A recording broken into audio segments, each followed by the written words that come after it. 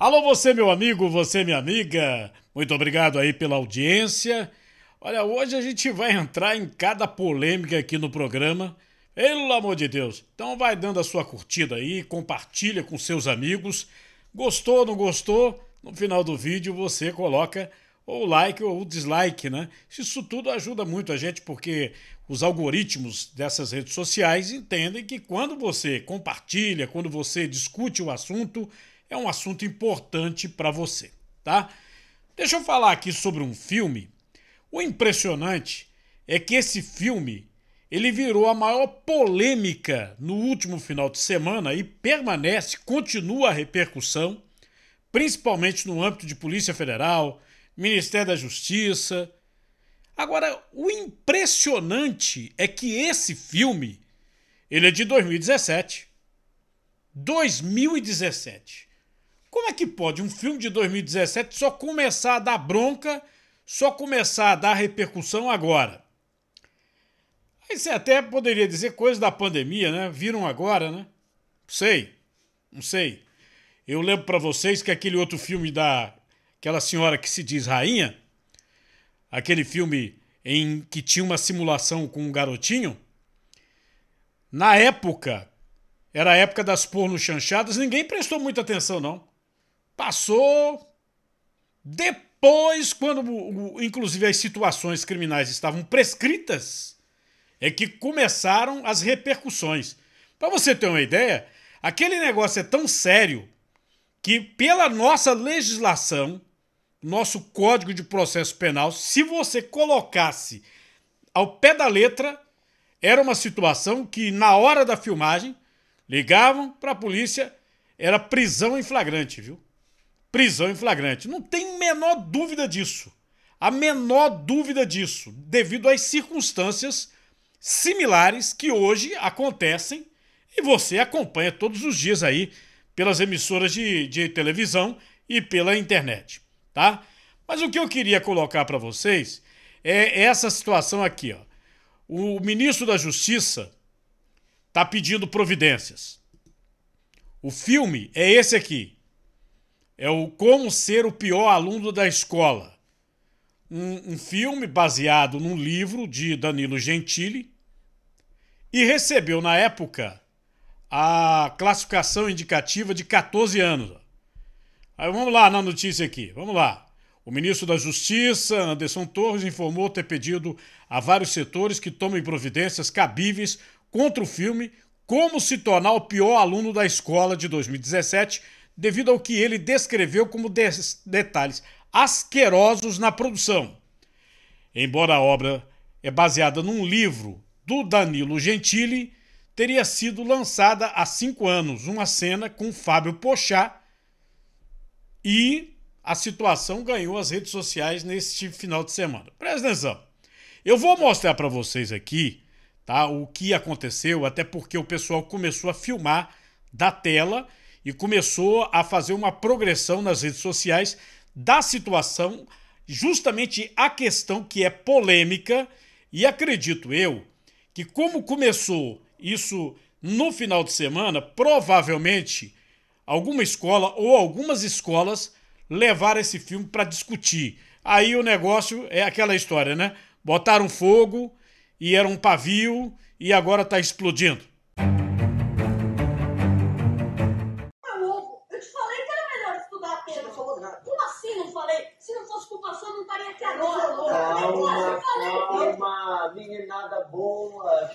Isso? Vocês são amigos, amigos não brigam.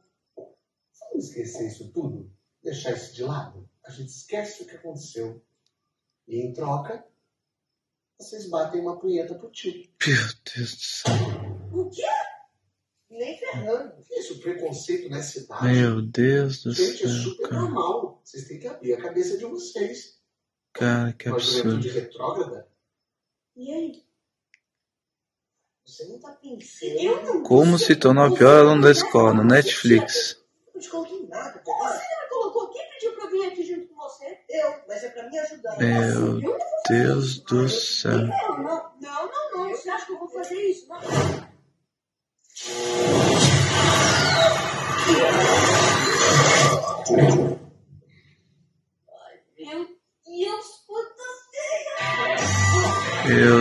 mais impressionante desse filme é que algumas pessoas que costumam combater esse tipo de situação, e eu vou colocar aqui, vou incluir o pastor e deputado Marco Feliciano.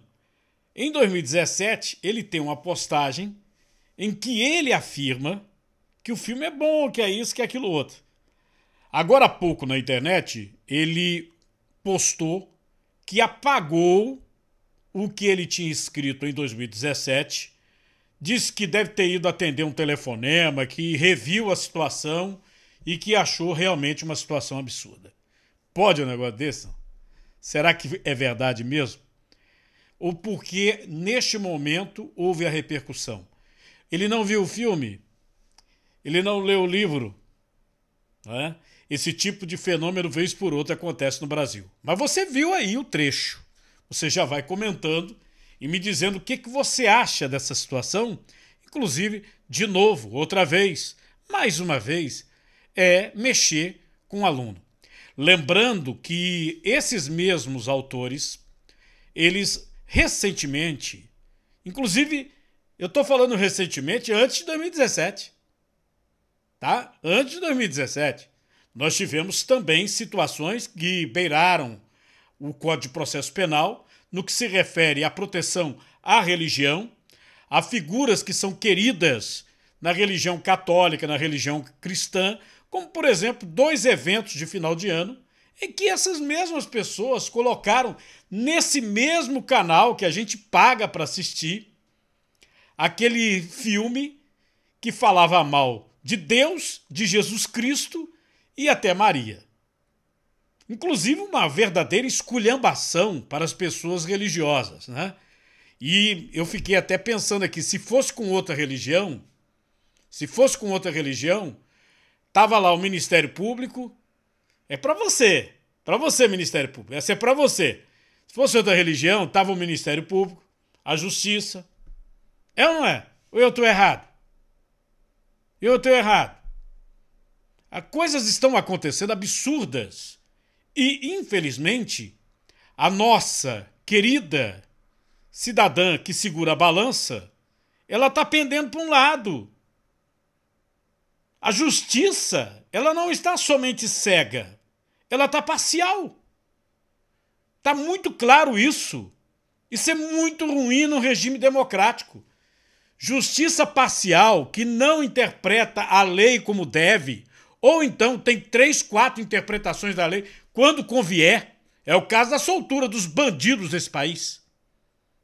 É, além dessa é, postagem aí que aconteceu no final de semana, com referência a esse filme aí, que sinceramente eu acho grotesco, mas eu, depois eu vou emitir é, a real sobre essa situação.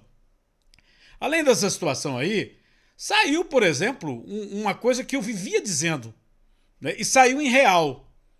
A refinaria de Pernambuco, a refinaria Abreu e Lima, que está no centro, no olho do furacão da Lava Jato e de outras operações. Não apenas a Lava Jato, mas de outras operações. Ela deveria custar cerca de 19 bilhões de reais, que já é um valor altíssimo. Chega a ser maior do que uma das maiores refinarias do mundo, que é uma Indiana. E com uma produção não tão grande quanto esta refinaria mas 19 bilhões. Terminou em 101 bilhões de reais. 101 bilhões de reais.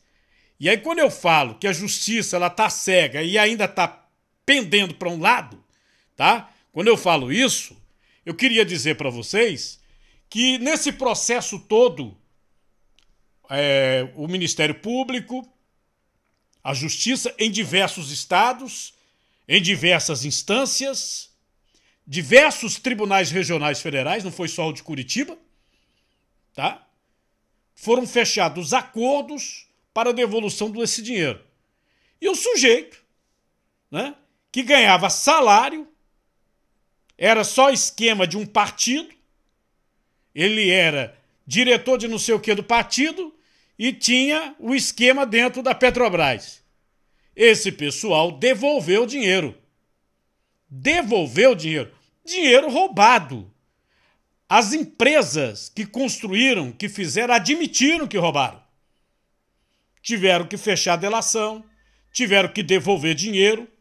Aí depois dessa confusão toda, chega a justiça e diz: não, é todo mundo inocente. Não, a justiça não tinha condição de fazer isso. Não tinha condição de dizer que todo mundo era inocente. Aí o que, que a justiça fez? Simplesmente a justiça pegou e anulou. Anulou. Primeiro caiu o negócio da, da terceira instância, da condenação, que eles várias vezes tinham votado que era dessa maneira, interpretaram a Constituição diferente, uma coisa assim absurda, porque a Constituição não mudou, mudou a opinião do juiz, ou seja, do ministro, que foi um caso lá do Supremo, absurdo, e depois eles anularam, disseram não, não deveria ter sido Curitiba, deveria ter sido Brasília. Erro de jurisdição.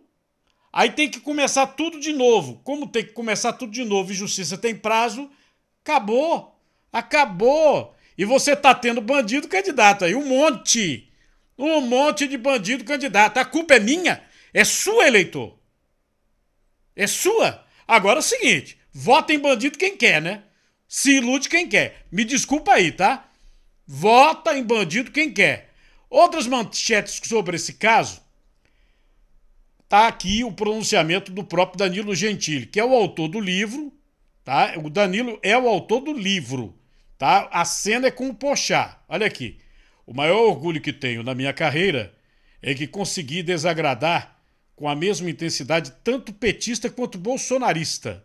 O estilix, o falso moralismo e o patrulhamento veio forte contra mim dos dois lados. Nenhum comediante desagradou tanto quanto eu. Sigo rindo, diz ele aqui. Eu tenho aqui uma, uma postagem, olha aqui, essa aqui. Deixa eu só atualizar aqui para você ver.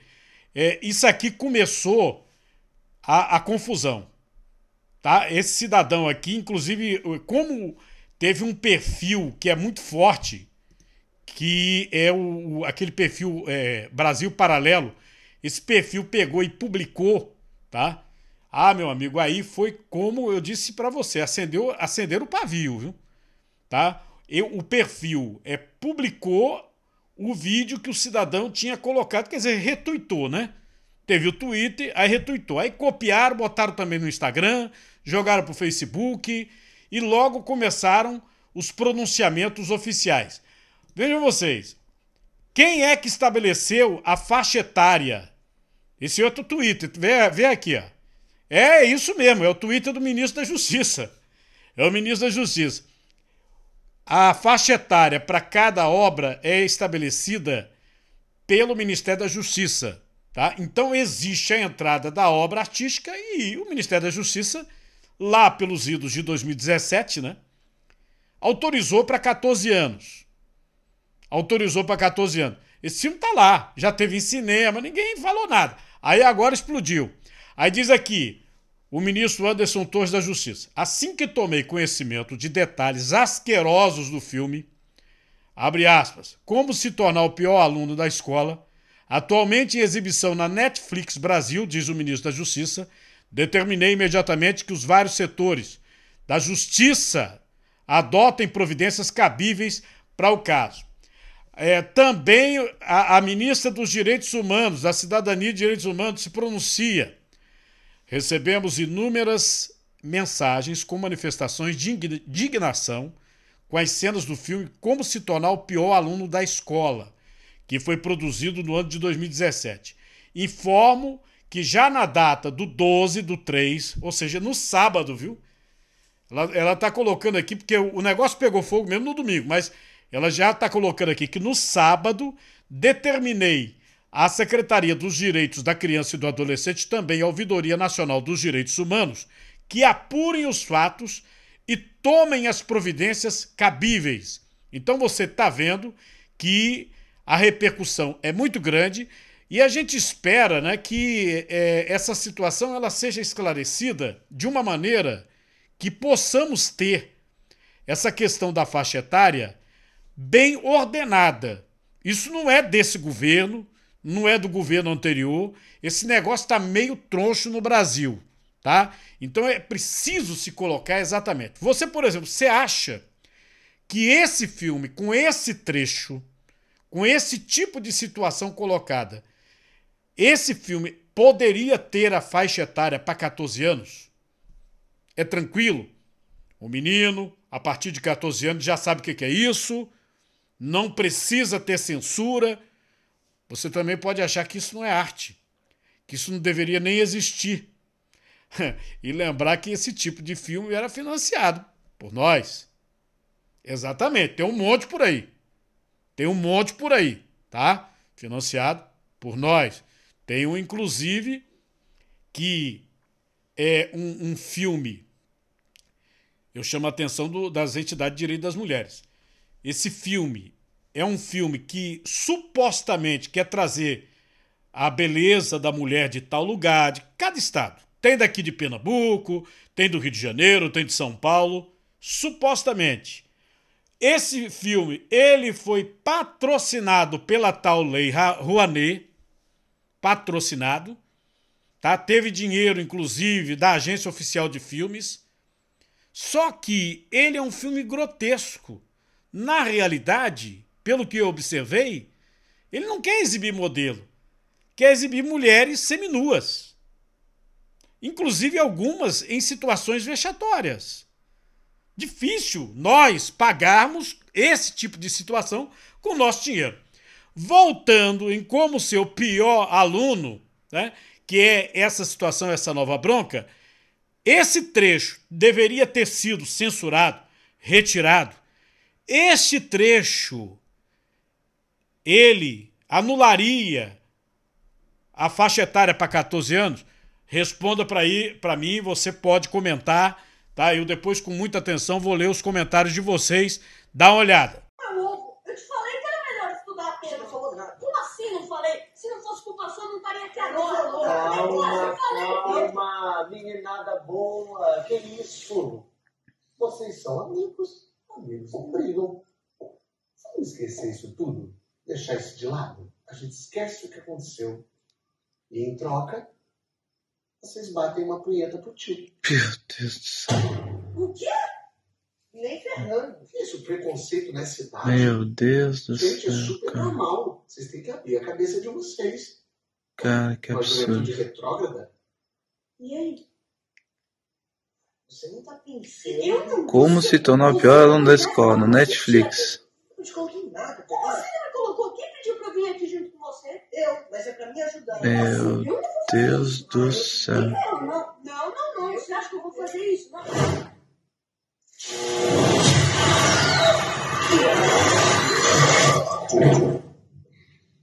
Ai, meu Deus, No filme, o cidadão é um professor do mal, diga-se de passagem. Mas a repercussão também acontece, isso praticamente uma semana, ou na mesma semana, daquele pronunciamento do ministro da Educação, Milton Ribeiro, quando teve um encontro com as merendeiras. Acompanhe. Nós não vamos permitir que a educação brasileira vá por um caminho de tentar ensinar coisas erradas para as crianças. Nós queremos que as crianças. Coisa errada se aprende na rua. Dentro da escola, a gente tem que aprender o que é o caminho bom, o correto, o civismo, o patriotismo, as coisas certas. Eu quero cuidar dos, das crianças. Não vou permitir, enquanto eu for ministro, que ninguém violente a inocência das crianças nas escolas públicas. Não vou permitir isso. Isso é um compromisso do nosso presidente. Esse negócio de ensinar, ah, você nasceu homem, pode ser mulher. Respeito todas as orientações. Uma coisa é respeitar. Agora, incentivar, aí é um outro passo. Eu respeito, tenho dito isso, mas nós não vamos permitir criança de 6 a 10 anos, um professor chegue na sala e diga que se ele nasceu homem, se quiser ser mulher, pode ser mulher. Isso eu falo publicamente mesmo, por isso que meu processo já está lá no STF. Eu não tenho vergonha de falar isso, eu não tenho compromisso com o erro. Bom, eu sou do tempo, eu prometi que iria falar sobre esse assunto. Eu sou do tempo que quem falava sobre essa questão né, de você ser abusado, de alguém chegar perto de você, tentar abusar de você, o que era certo, o que era errado, quem chegava para mim para falar era meu pai e minha mãe. Meu pai e minha mãe. Aliás, minha mãe tinha uma preocupação muito grande quanto a isso. Eu me lembro. Né? E eu tenho um grande privilégio, porque eu tenho os meus pais vivos ainda hoje. Né? Eu saía para a escola, ela comentava comigo sobre essa situação. Oh, se quiser fazer isso, quiser pegar assim, não sei o que lá. Falava muito abertamente comigo. Tá? Muito abertamente. E eu tenho o maior orgulho dos meus pais, porque uma das coisas que meus pais souberam me dar foi educação. Eu tenho muito orgulho, muito respeito por conta exatamente dessa situação. Me deram a vida e ainda me deram uma educação que eu considero maravilhosa. Né? Não apenas a mim, mas também meus irmãos. Todos eles tá, tiveram esse tipo de educação por parte dos meus pais. Agora, aí chega, de repente, um filme e tenta colocar essa situação. É positivo, é negativo? O que, que você acha? Hein? Eu acho, eu acho que está faltando para o Ministério da Justiça colocar regras claras para esses streamings. Eu, inclusive, já abordei esse assunto num programa meu da televisão com políticos ligados à situação. Políticos que estavam falando exatamente de filmes que supostamente eram inocentes e de repente o pai se vê num shortinho, numa calça curta, com uma situação que não é para criança daquela idade. Eu mesmo já me vi. Né? Você sabe, olha, você pega, por exemplo, Netflix, Prime Video, esses streams aí, os mais famosos. Tá? Eu, inclusive, tenho eles. Tenho eles. Aí você tem a, a área infantil, infantil mesmo, para criança. Então, quando você coloca naquela área infantil, você acredita que o conteúdo ele não vai fazer mal ao seu filho, não vai prejudicar, não vai gerar um tumulto na mente da sua criança. Mas não é isso que está acontecendo, não. Não é isso que está acontecendo, não. Você hoje você tem desenho animado que fala de coisa, meu amigo, desenho. Você está olhando assim. Eu já fui pego em tipo de situação que tive que rapidamente desligar a televisão na frente de criança. Na frente de criança. Então é preciso colocar claramente essa situação. Se você conversa com seu filho, um, um, episódio desse aqui, se você vai ver, vai ver com seu filho, ah, vamos ver isso aqui. Que isso aqui é uma bronca pesada, meu filho. Vamos lá, vamos ver ou com a sua filha. Vamos lá, minha filha, isso aqui é uma bronca pesada, vamos ver. Né? Aí você vai conversar com seu filho, vai dizer, ó, oh, cuidado com isso, isso pode acontecer mesmo, viu? existe, né? Talvez você vá por essa opinião. Talvez você ache que isso não deve nem estar em plataforma de streaming. Talvez. Até porque o, o, pessoal que fez isso aí é o mesmo que diz que Jesus era aquilo, aquilo outro, Deus era aquilo, aquilo outro. Maria era aquilo, aquilo outro. Aliás, duas vezes. E não tomaram providência. Estão falando agora que vão fazer alguma coisa. Também não acredito muito, não. Eu, como eu disse, aquela rainha né, fez aquele negócio hoje. Se você olhar o Código de Processo Penal, você vai ver que é cadeia. Tem muita conversa. Né? A, aquela situação é muito pior. Muito pior. Era cadeia na época, é cadeia hoje e não deu em absolutamente nada.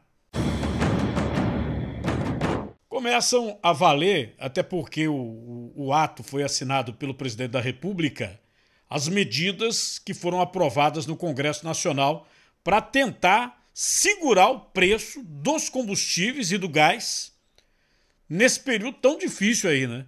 É aquela história que eu estava dizendo para vocês.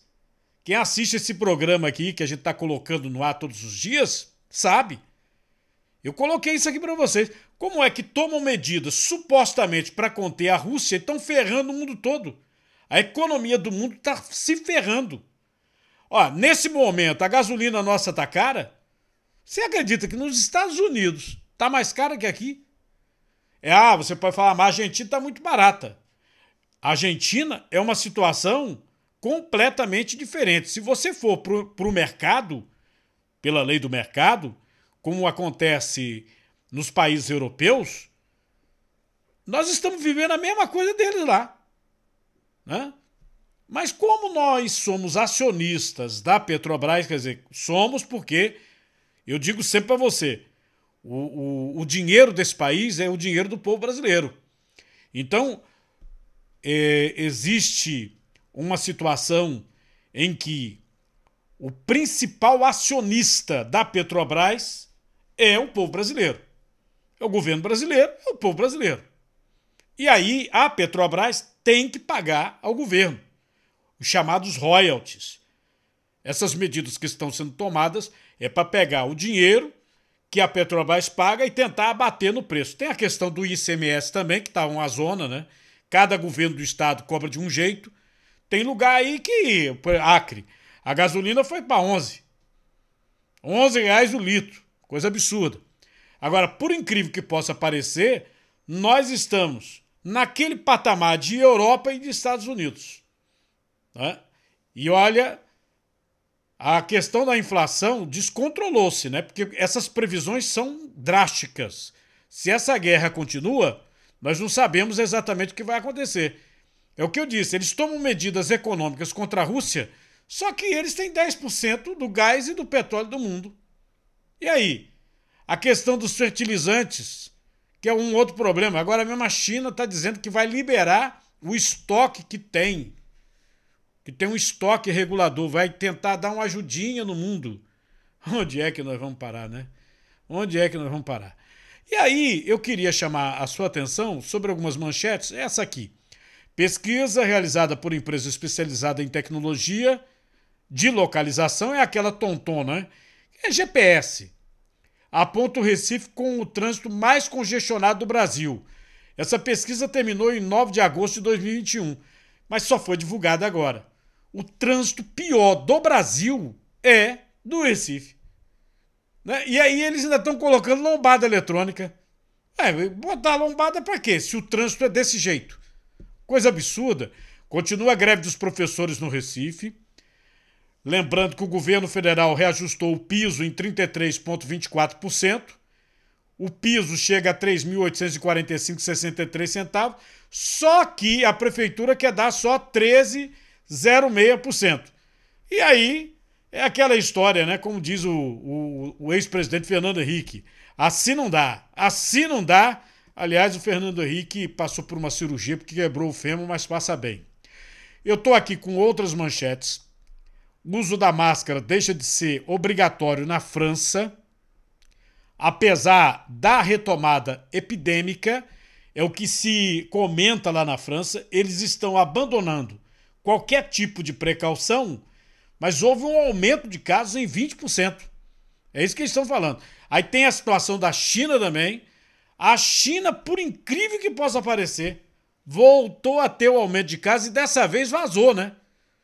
É porque eles estão numa ficção e já faz algum tempo, nós temos dois anos completos de pandemia. Dois anos. E a China vem numa ficção afirmando que não chegou a ter 5 mil pessoas mortas em seu território. Você acredita? Você acredita que na China. E agora eles estão botando cerca de 17 milhões de pessoas em contingência. É o famoso fica em casa. Será que isso funciona? Será que isso funciona? Bom, vamos começar então pela China. Vamos ver essa situação de novo na China tudo indica que é a Omicron. Eles fecharam, fecharam, fecharam. Aí a Omicron agora chegou lá. As vacinas não funcionam para essas variantes. A China registrou perto de 3.400 casos de Covid-19 neste domingo. Trata-se de um número recorde desde o início da pandemia. O ressurgimento das infecções obrigou as autoridades a tomarem medidas para conter os surtos em mais de 10 províncias chinesas. Foram impostos novos confinamentos em várias cidades do nordeste do país e encerradas escolas em Xangai. Desde que o vírus foi detectado no final de 2019, a China mantém uma política zero Covid, apostando nos testes e em restrições imediatas. No entanto, as novas variantes do vírus continuam a desafiar as políticas sanitárias. O médico né, que tem clínica, trata Covid, atende hospitais pessoas com Covid e vem desde o início da pandemia, o Roberto Zeballos, ele fez um vídeo explicando ou tentando explicar essa situação da China. Olá, gente. Cheguei aqui, as minhas que trabalham aqui na clínica falaram que a China está fechando tudo de novo. Bom, é... se a Omicron alcançar a China, ela vai infectar mesmo porque o chinês não entrou em contato e o chinês fez um isolamento extremamente rigoroso, então tem um monte de gente suscetível. Já Estados Unidos, Brasil e a Europa acabaram se expondo mais à Ômicron. Eu nunca esqueço é, os casos de Delta que não explodiram aqui no Brasil por conta da, na minha interpretação, essa é a minha interpretação, a constituição molecular dela era muito parecida com a da Gama, então, por isso que não explodiu aqui, nós tinha um monte de gente já imunizada. Então, para SARS-CoV-2, Covid-19, variante Ômicron, tanto na África do Sul quanto no Brasil, ou até quanto nos Estados Unidos, se for a variante Ômicron ou uma derivada da Ômicron, isso não deve causar problema para a gente. As, esses vírus pegam os suscetíveis. Essa é a minha opinião pessoal. Vamos observar, porque eu acho que é, vou ver como é que está no mundo, a gente conversa, porque é, eu estou cansado já de ver essa, essa geração de pânico desnecessário, tá bom? Vamos observar com calma e aguardar. Se for um outro vírus que não é o SARS-CoV-2, aí é outro assunto, porque o SARS-CoV-2 em dois anos de existência já imunizou a grande maioria das pessoas e também o estrago que tinha que ser feito já fez. Na China, pode ser que eles tenham um monte de suscetíveis lá. Esse é meu raciocínio. Então vamos em frente, que aqui no Brasil as coisas estão indo muito bem. No Brasil, né, Minas Gerais tirou a máscara, Distrito Federal tirou a máscara, está enfrentando um processo do Ministério Público, o Ministério Público entrou para voltar a máscara. São vários estados. São Paulo tirou a máscara, Rio de Janeiro tirou a máscara. Há uma expectativa de novas medidas em Pernambuco a partir desta terça-feira. Vamos aguardar. Vamos aguardar. Há muitos protestos, inclusive eu estava vendo aqui um cronista esportivo falando: olha, o cidadão toma todas as doses do mundo, ainda tem que fazer exame para ir para o campo de futebol em Pernambuco? Vai não, vai não. E Pernambuco está afundando, está afundando.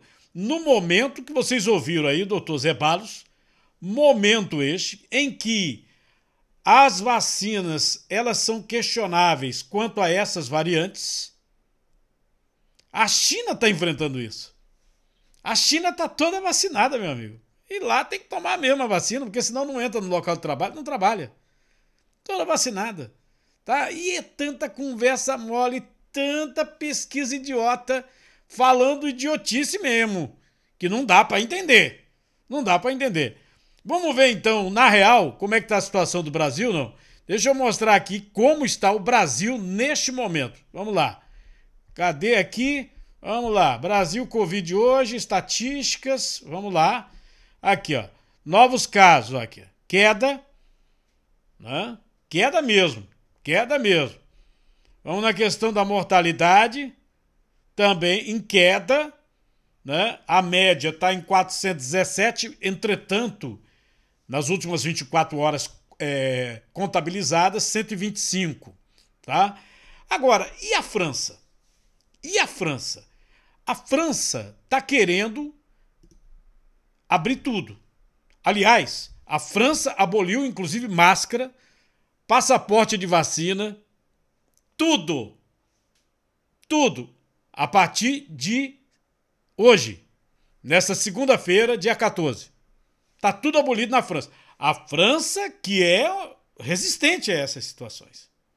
Resistente. Aboliu máscara, aboliu passaporte. E não é que tem protesto por lá, não? Não, mas, vamos ver qual, qual é a situação da França nesse momento, nessa questão de tirar máscara, passaporte de vacina. Vamos dar uma olhadinha. Continua a ser obrigatória nos transportes e hospitais, mas deixa de ser necessária nas escolas e na maioria dos locais públicos e locais de trabalho em França. O governo francês decidiu pôr fim à obrigação do porte de máscara, bem como à apresentação do passaporte sanitário, acabando com a maioria das restrições ligadas à Covid-19, apesar do país registrar atualmente um aumento no número de contaminações. Quando eu comecei a explicar essa situação para vocês, eu li aqui a manchete né, da França e mostrei no texto que havia protesto dos chamados cientistas, os especialistas, dizendo: não, mas vai tirar a máscara agora, quando teve aí um aumento de 20% nos casos. Ué, e tem evidência Bom, eles devem ter evidência disso, né? Que houve aumento de 20% dos casos. Lembrando aí que na França manteve a máscara em hospitais, na, no transporte público, né? No transporte, transporte coletivo. Você não precisa mais ter máscara em escola, mesmo local fechado. Tirou a máscara. Acabou a máscara lá. E não tem passaporte de vacina. Não tem passaporte de vacina. Aí você fala assim, mas será, Cardinô, que é verdade essa situação que eles estão falando? Vamos na tela? Vamos na tela. Ó, França, Covid hoje. Olha, olha quantos casos. Você está vendo quantos casos, não? Você viu, zero casos. A média dos sete dias, 43 mil. Entretanto, nas 24 horas que eles computaram, zero casos, rapaz. Né? E aí nessa segunda-feira, a abertura total sem máscara. Sem mais. Vamos ver a mortalidade. Também queda, aqui, ó. E, e nas 24 horas computadas, zero morte também. Tá? A média, 104. Lembrando a vocês que quando a gente parte para falar da questão da mortalidade, é um problema danado porque está muito mais relacionada à comorbidade. Você vai vendo que cada óbito está relacionado a um determinado tipo de comorbidade. Outro problema sério com relação à estatística brasileira é o atraso. É o atraso. Não me deram ainda uma explicação lógica para que óbitos de 2021, 2020, ou até de 3, 4, 5 meses atrás, quando nem se falava dessa variante Ômicron, óbito de antes da variante Delta entrar na estatística como se fosse mortalidade de vacinado, não vacinado. Isso é um absurdo, né? Isso é uma verdadeira esculhambação. Então vou de novo para minha tela. Você está vendo aqui, ó, boletim Covid, governo de Pernambuco. É o boletim da Secretaria Estadual de Saúde da última sexta-feira. Falando dos casos, da mortalidade, foram 11 óbitos confirmados, tá? Agora, veja só, vou grifar aqui para você. Ocorridos entre os dias 23 aliás, 21 do 3, 21 de março de 2021. 21 de março, quase um ano, faz quase um ano. Teve morte de quase um ano, tá aqui na relação. Como é que você pode fazer uma estatística para dizer que ah, foi vacinado, foi não vacinado, tá? Ó, 23, 21 do 3 de 2021, do ano passado, até aqui, ó, 6 de 3 de 2022. Estou grifando aqui para você. Não tem condição. Quando você vai no boletim, que é obrigado a se colocar, tem a questão da faixa etária. Aí tem, ó, aqui, doenças pré-existentes, doença cardiovascular 5, diabetes 4, histórico de AVC 2, obesidade 1, doença respiratória, hipertensão 1. Deixa eu grifar aqui para você, ó. Aqui, ó. Ah, e, e, e, e um ainda segue investigação. Tinha um que tinha câncer, outro doença de Alzheimer, e lembrou aqui que tem paciente que tem mais de uma comorbidade. Mais de uma comorbidade. Aí você acha que dá para você, como fez o governo de São Paulo, né? com uma estatística dessa, o governo de São Paulo publicou uma estatística dessa você colocar a questão da mortalidade nesse momento, ah, é vacinado, ah, não é vacinado. Quando você pega e coloca pessoas que morreram, aqui ó, 21 de 3 de 2021, o que, que você acha? Põe aí para mim nos comentários. Lembrando a você as promoções da nossa loja, você pode entrar no cardinal.com.br, lá em loja, clicar, vai direto para a loja, tem várias promoções. E também na descrição dos nossos vídeos nas redes sociais sempre tem o link para a loja nessa parceria com o Magazine Luiza. Dá uma olhadinha lá nos produtos que eu separei para você. Eu recebi também uma postagem aqui sobre questão de merenda escolar. Sim, mas não é a questão da merenda escolar. Envolve a Prefeitura do Recife, entretanto, é a empresa que, segundo uma pessoa que nos assiste, disse: Olha, Cano, denuncia aí. A empresa ela trocou de nome. Ele postou aqui no YouTube. Trocou o nome, eu não sei como é que faz isso, né? Parece que estava sendo investigada, inclusive pelaquela delegada que foi afastada, lembra? Quando acabaram com a delegacia de corrupção estaria sendo investigada, e aí trocaram o nome, e aí ele diz o seguinte: ó, eles descontam, faz um ano, a uma cesta básica. Vem no, no salário nosso descontado uma cesta básica. Só que não estão dando a cesta básica. De novo, outra vez. Como é que pode um negócio desse, gente? Eu espero que a Prefeitura do Recife dá uma olhadinha nisso. Ou então, meu amigo, dá um, um, uma ligada para o Tribunal de Contas do Estado é mais um, né? Infelizmente, como não se coloca ninguém na cadeia, fica essa esculhambação, né? Infelizmente, foi o que eu disse no início do programa. Eu disse no início do programa: os bandidos estão aí, viu? Cuidado para não votar em bandido, hein? Obrigado. Bom dia.